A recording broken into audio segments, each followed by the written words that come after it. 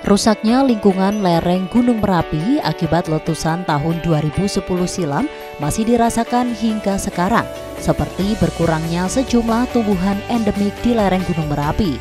Oleh sebab itu, Angkatan Muda Muhammadiyah dan Kokam Kecamatan Dukun, Kabupaten Magelang, Jawa Tengah menggelar kegiatan merawat Merapi dengan menanam pohon endemik di lereng Gunung Merapi.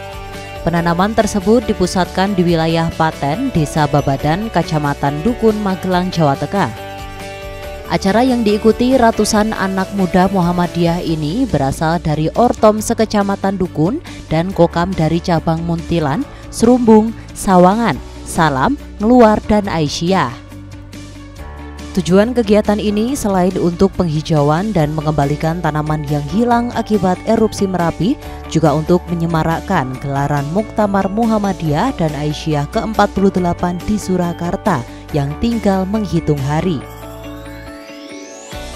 Selain menyemarakkan Muktamar eh, Muhammadiyah dan Aisyah ke-48, eh, mendapat informasi dari teman-teman Babadan bahwa ada beberapa lahan yang masih uh, kekurangan tanaman endemik Merapi.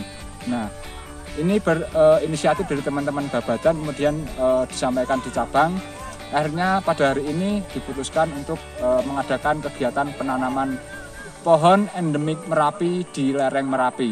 Sekalian kita undang teman-teman dari cabang sekitar, uh, Muntilan, Serumbung, dan yang lainnya. Itu kita undang, ada teman-teman IPM juga, Aisyah, uh, Tapak Suci dan uh, Ortom-Ortom Muhammadiyah kita undang semuanya. Dalam merawat Merapi ini, para peserta menanam ratusan tanaman endemik Merapi seperti jenis tanaman gondang, tengsek, dan berasa. Dengan kegiatan penanaman ini, diharapkan lereng Gunung Merapi kembali hijau dan lestari, serta gelaran Muktamar ke-48 mendatang dapat berjalan lancar.